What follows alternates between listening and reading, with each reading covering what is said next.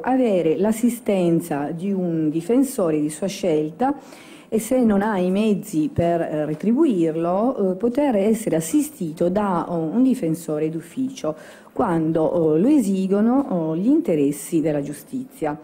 Eh, non vi è solo questo, eh, perché il diritto al giusto processo ha anche una portata più ampia,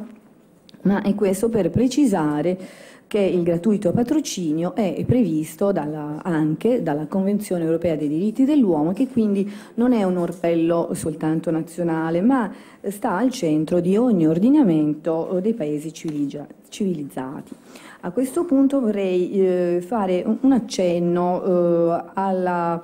alle linee guida eh, operative eh, che si stanno finalizzando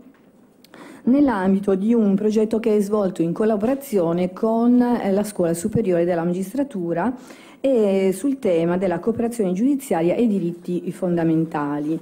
Eh, L'esistenza di una pluralità di fonti eh, sovranazionali che si occupano oh, di tutela dei diritti fondamentali, eh, tra questi, come abbiamo detto, la Convenzione europea dei diritti dell'uomo, ma anche la Carta eh, dei diritti fondamentali dell'Unione europea, eh, che quindi ehm, oggi investono i giudici degli Stati membri dell'Unione europea di un compito complesso e delicato. Eh,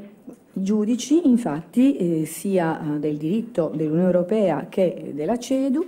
ehm, sono chiamati a verificare eh, la compatibilità della norma nazionale eh, rispetto appunto alle norme sovranazionali.